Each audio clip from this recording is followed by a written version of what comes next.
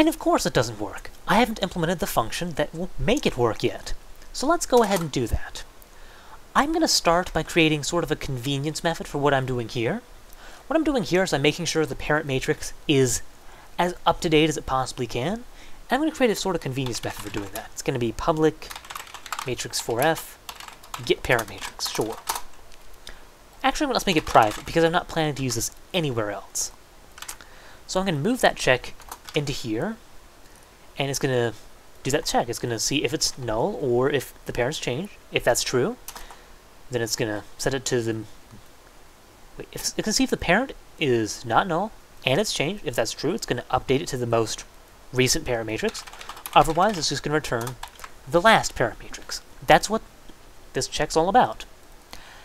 And, really, I'm at this point, I can change my get transformation method to use this, so I don't even need to perform that check like I was doing before. There. Whew. And now that we have all that out of the way, I can implement the mechanism.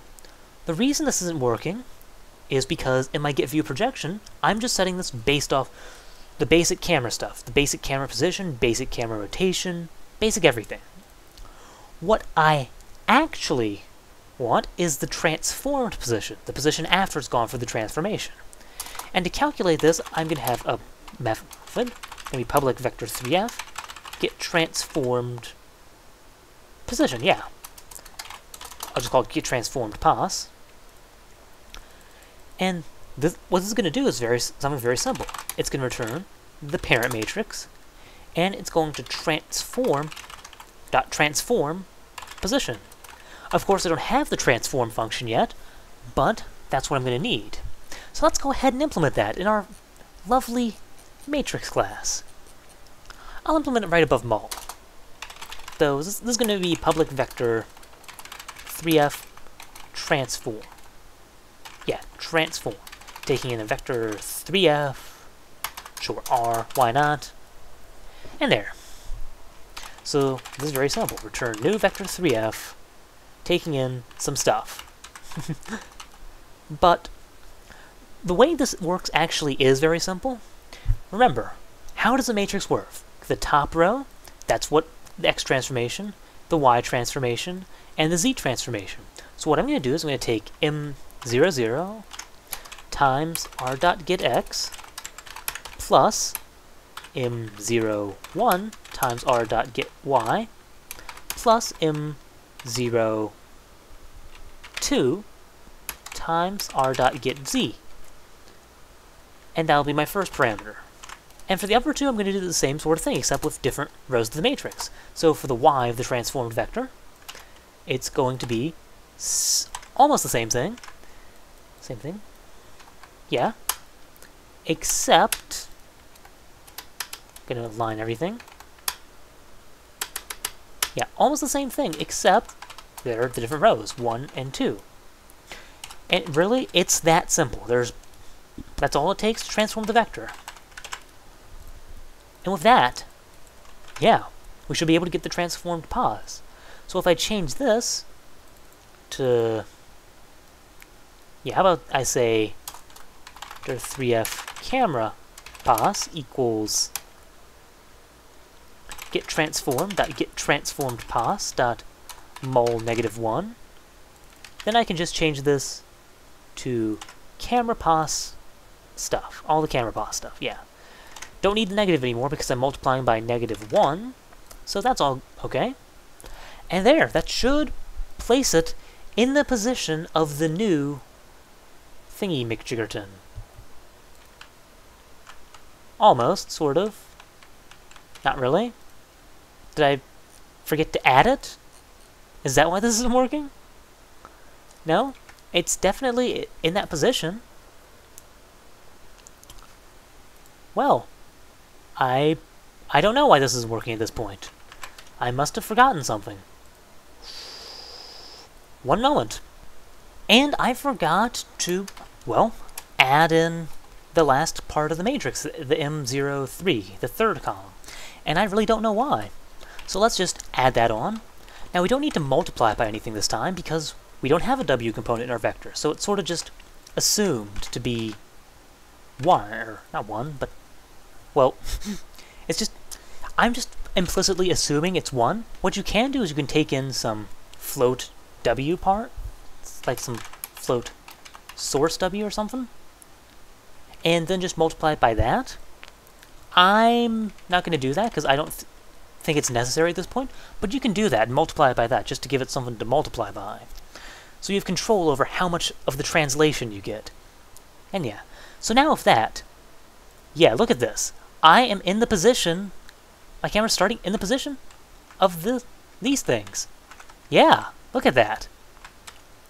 If I, in fact, I'm going to try to like look directly up. I know it's like starting at the corner, so it's going to be hard to see, but yeah, you see, I'm starting at sort of the edge, the corner thing. It's hard to show off, but, you know. and this does get really interesting, because uh, my positioning is now moving relative to that object. So, yeah, this is really interesting to control. Actually, I wonder why that is. I'm not sure that should be happening. Hmm. Oh well. Well, anyways, with that all out of the way, now all I need is the rotation, which should be similar, I think. Yeah, I'm not sure why I thought that would work, so let's try this again. But, before I go into that, make sure in your matrix class you have these set to 1 and 2 right here. Because for some reason I had these all set to 0, and I really don't know why. That's wrong. Make sure, sure these are 1 and no, don't do the draggy thing around. How's it done anyways? Hmm. Is that how it is? You just do that and then drag? Oh, okay. Hmm. Well, well now I know. But anyways, what I want to do is I want to create the function public quaternion get transformed rotation. And this is going to do something similar to what the get transformed position is doing. But this is going to be a little different. What I'm going to do is I'm going to do the same sort of check I did right here. If parent is not null, and, well, parent has changed, then, first off I'm going to say quaternion, parent rotation. See where I'm going with this? Which is just going to equal a new quaternion of 0001, which is sort of like the null quaternion. This is, means no rotation. If parent is not equal to null, and the parent is changed, then the parent rotation is going to equal parent dot get transformed rotation. There. And, well, at this point I'm just going to return parent rotation multiplied by rotation. Just like that. Very, well, fairly straightforward set parent rotation to the parent's transformed rotation. So yeah, just recursively walk up the hierarchy un until it's reached the parent, reached the one that's changed. It's reached the final. Yeah. and oh right, that's not going to work because I don't have the giant store. Right, I'm not caching the parent rotation. Okay, never mind. if parent is not equal to null, it equals parent.get transformed rotation. There we go. You could have like a rotation cache here if you really wanted to. I'm not going to bother because I don't think it's going to be used nearly enough to warrant that. But, you know, it's there. So anyways, I'm going to change this to get transformed rotation, and it should just be that simple. Should walk up the hierarchy, get the proper quaternion, and look at that, we're starting in their position. And it makes our camera behave really wonky because we're trying to rotate around one of the global axes. Left and right should work fine, yeah? But looking up and down, that's a little bit of a different story. So yeah, and the reason for that is because we're basing those calculations off of the actual position and not the transformed stuff. So yeah, if we really want that to be truly generic, what we can do is change it to be based on that. Set it to get transformed rotation. Multi Oh wait, that wouldn't work. Never mind. Okay, never mind, it's not that simple. okay, so, a couple things. First off, to get rotation to work right, all you have to do, change this quaternion right here from, from using getTransform.getRotation.getRight as the x-axis to get transformed rotation.getRight as the x-axis. And that'll get rotation to work right at least. It won't fix positioning, and I'm not going to actually fix that just yet, because I want to fix something else. In fact, let's see if I can demonstrate it.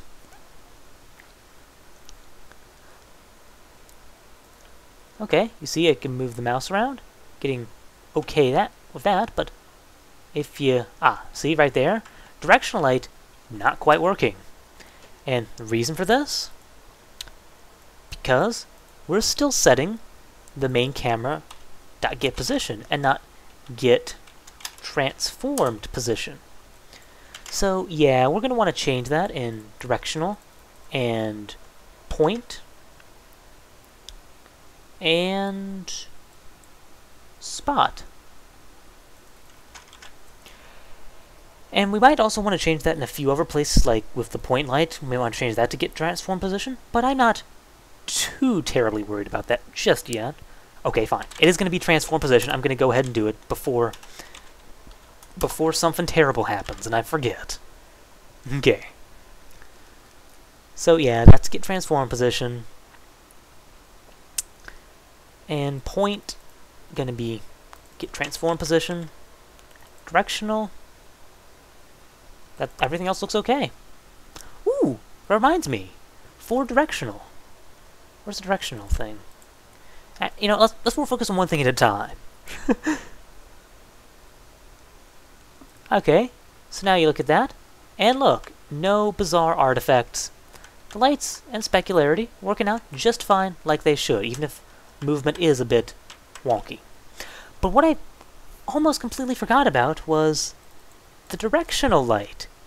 I don't need to specify direction anymore. You know why? Well, because I have that in the rotation. The rotation is the direction. And it's also infinitely more powerful once you include the power of the whole graphing nonsense. Not, not the graphing nonsense. You know what I'm talking about, the rotational thing. So yeah, I'm going to return get transform dot get rotation dot get forward. And there, that'll get the direction. So don't even need to take that in now. Now I can go back to test game wherever I created the directional light, you know, somewhere in here. Aha! And I can change this. So I can say, I don't know, directional light dot set ro okay, get transformed, set rotation to new quaternion, new vector 3f, 0, 1, 0, Sure, I'm just gonna rotate around the y-axis. You know what, let's, let's rotate around the x-axis, sure. Math dot to radians, 45. There, just to mix it up a bit, just to give us a little bit of a different directional line. Oh, excuse me. Has to be a float. and now, should be facing a different direction. Or it could crash.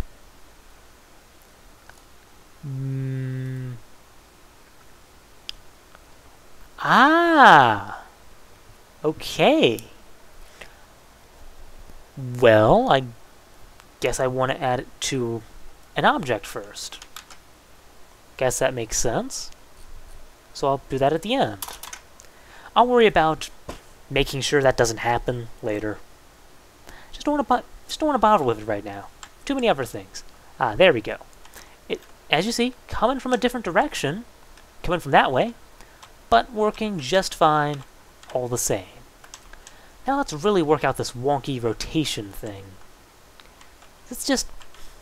Or not the rotation, the rotation's working fine. It's just...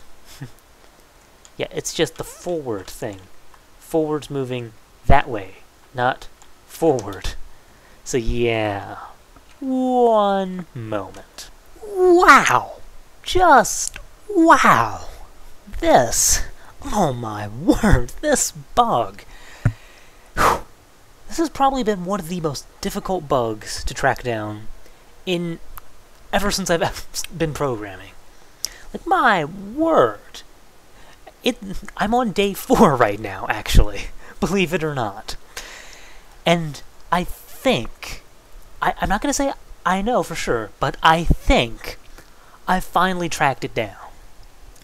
Yeah, this is not nearly as simple as it seemed. There's there's actually like six or seven. I don't know. I'll count when I actually do it, but yeah, there's like six or seven completely independent bugs that are all cumulatively working together to ultimately cause this bizarre camera effect we're seeing. Yeah, that's why this is such a nasty bug to track down. So let's just go ahead and get started and start counting them off. Number one, in directional light. Look at what we're doing in get direction. We're getting it based off the rotation. And that's not good. We want the fully transformed rotation. Otherwise, that's going to run into problems with parenting. So yeah. And same thing in spotlight. It needs to be get transformed rotation, not get rotation. Whew. That's bug number one. Bug number two is in the transform class. It's with our old position, old rotation, old scale whole system.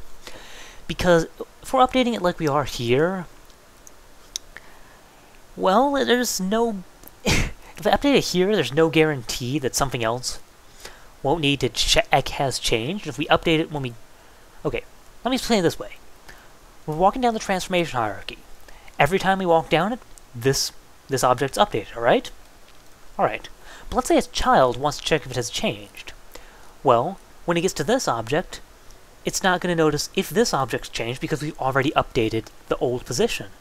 So we're going to need to change that. We're going to need a separate function, public void update.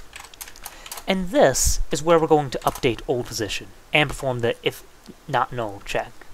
So yeah, I'm going to move this to update. And I'm also going to move this in here. Except rather than rechecking it, I'm just going to say else. And, hmm, I wonder. I'm not entirely sure if I can actually set it like this, or if I need to change it a little bit so it won't be position yet. But I'll, I'll find out. So yeah. And you notice that simplifies the code a little bit, at least in my opinion. So, I say that's just a win all around. So in game component, I'm going to call the update right above the input. So we're going to call, yeah, transform.update at the very start. Right when we start the input, that's when we're going to update it. So yeah. And with that, I, yeah, I think that, that, that covers that. So that's bug number two. We'll find out, again, we'll find if we need to actually change this later. Bug number three. I'm going to add a function to our transform class called rotate. It's going to take in some vector 3f axis and some float angle. And this is going to be just a convenience function. It's for things like in our camera where we're rotating. It's going to do this, except it's going to be about a million times easier to actually do because, well, we we don't need to say get transform.set rotation to get transform.get rotation multi, you know, etc. etc. We can just use the rotate function. So we're gonna I'm gonna set up the rotate function just like this for now. Rotate.mul new quaternion axis angle dot normalized. There. So I guess I didn't need to copy that, but yeah. This is how we have rotation right now. As it turns out, that's wrong. What I was actually looking for is new, new quaternion angle axis dot mul rotation. And apparently, even though quaternions are non-commutative, as in, you know, multiplication order matters, well, clearly, but apparently, if you're just having one hierarchy level, you don't notice the difference. But when you have multiple levels, you do, which is really weird, but I found that to be the case. So there's bug number three. Of course, we want to change this to, you know, use the rotate function. But, you know, So let's get transform.rotate, and look how much easier that is. I can just pass in y-axis, and whatever this is, close it off, and just like that. Much easier. So now I can delete this, and same thing here. And also this is going to make it easier not to make this sort of mistake later. So you don't have to worry about quaternion order when you rotate. Whew. And wait, what? Oh, never mind. For a second there I thought I copied more than I was supposed to, but no. And... do I... okay. Not entirely sure why this whole thing is surrounded in brackets, but... or parentheses, or whatever. But okay. So yeah, there. That, that should fix the rotate thing. Should. Why are you... I still don't have it right? Oh. Right, don't need new quaternion now. Much better. And that, my friends, is bug... That concludes bug number three, I think. And I went ahead and looked off-screen to see whether I did need to change this, and yeah. We're going to want to not set it directly to position, because otherwise it's going to cause issues. So I'm just going to say position.add 0.1f, or how about 1.0f, sure, doesn't matter. Rotation, I'm going to multiply by 0.5f. And scale, I'm going to, sure, add 1.0f. Yeah, I'm just doing something just to make it different than, well, position, rotation, and scale, so that these things should return true the first time through. Well, you know, because they're not equal. And yeah, so now on to bug number four. And this is where things start getting... Hmm. No, I'll say this is bug number four. This is where things are going to... Hmm. Okay, yeah, I'll do it this way. This is going to be bug number four. and this is where things start getting into a little bit more of the meat of it, a little bit more into why exactly this has been happening. Right here, get forward, get back, get up, right, left, all this stuff. As it turns out, I was wrong in assuming that these would, even though these are the rows of the matrices that correspond to the vectors, I was wrong to assume that these would end up actually giving the correct vector. And I'm still not entirely sure why that is, I'll be perfectly honest with you, but I suspect it has something to do with the fact that some rotation matrices will ultimately be the conjugate, because that's what it's doing. It's actually, when it's not working, it's returning the conjugate uh, of the appropriate vector, if that makes it, well, the vector you'd get if you rotated by the conjugate of the rotation, if that makes any sense. So, yeah, I, I suspect it, it has something to do with that, I just, I'm not entirely sure what it is. So anyways, to fix this, we're going to need to separate get forward, back, up, down, left, right, and left from the two rotation matrix calculation. So I'm going to say vector 3f forward is going to be equal to, to what I have at, as forward right now. And vector 3f up is going to be equal to what I have as up right now. And vector 3f right, oh right, new vector 3f, is going to be equal to what I have right at right now. So now you might be wondering, well, if I don't get the forward... Oh, and I want to return new matrix using the these forward, up, and right from, well, this. And I might be wondering, well, if the matrix calculation doesn't give me proper forward, right, up, back, down, whatever vectors, what will? Well, what we want to do is we want to return a new vector 3f of starting in forward on globally, such as on the z-axis, and just rotate it by this. And that's how we're going to actually want to do rotation. So actually, I'm set this to 0 just so it's easier to copy around. Won't have to delete the 1 in all the different places. So yeah, apparently that's the way I should have done it. Again, I'm not completely sure why this will work and the matrix doesn't always, but, well, I'll figure it out one of these days. I'm interested in the math, so I'm gonna Well, I'm to do the derivation or whatnot at some point, but... Or at least do something. I don't know. Point is, this works, and that concludes bug number four. We can't rely on the rotation matrix to give us proper vectors. So, that brings us to bug number five, the camera. Notice our sensitivity is negative right now, and we've been doing all our rotations sort of negatively, backwards, inverted, you know, with a negative sign in front of it. And there's a reason for this. The reason is, well, I ultimately wanted to... Well, the idea was that the camera would do the rotation backwards, so that, you know, kind of like the position. I'm, when I make when I set the camera pos for the matrix, I'm multiplying it by negative 1 so that it moves the whole world away from the camera. Kind of the same thing here. I was doing the opposite rotation so that the world would rotate, you know, in the opposite direction of the camera. Unfortunately, that function, that sort of method that I'm doing doesn't really stack once you put it in a giant rotation hierarchy. So instead of that, we do want sensitivity, sensitivity to be positive, and we want to get that invert first effect by taking the transformed rotation dot conjugate dot to rotation matrix. So see, this is important.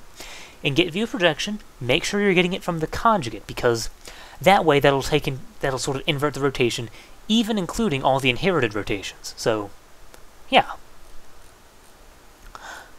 And well, there that that covers that book, I think. I don't know if you want to call this is bug number six or not, but when I said get transform rotation here, that was also part of the whole system. So yeah, this actually just needs to be get dot get rotation now, because now it's in camera, well, now the camera doesn't have to worry about having its rotation inverted with respect to the entire world, because that's already done when I call the conjugate here. And really with that,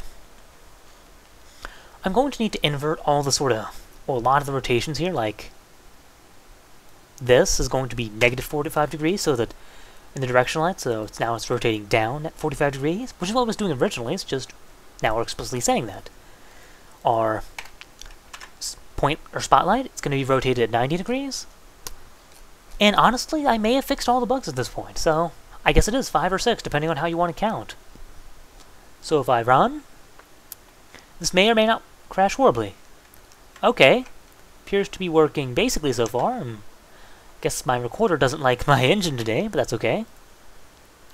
So now let's try parenting the camera to test mesh 2. Right? Get ready. Alright, it's facing the direction, so that's fixed. And I can move the camera just fine. So it is indeed parented to the object. It started, well, at the object's position and rotation, but it's not affecting the movement of the camera anymore and also notice how things are like aligned properly. So there you go. That fixes all the bugs. Finally. that one's pretty nasty one to track down, but uh, in fact, yeah, I'll leave it parented to test mesh too. Yeah, it was not easy to track down, but hey, I'm glad it's all over now, and I'm glad I can finally say that the whole camera parenting hierarchy does work properly. So yeah, and with that, I bring good news. As of now, there's only one thing left in the engine architecture segment. Materials. After that, after we cover materials, we, we will finally be done shuffling everything around into an organized, powerful format. And then we'll be ready to move on to the resource management section, where we'll handle OBJ loading and well, and we'll make proper generic shaders so we don't need our shader classes to have a shader. And yeah, so we're just going to make fully generic materials so they can have any property the programmer wants without needing inheritance. And yeah, so thank you. Hope you enjoyed. Hope you learned. And I'll see you next time.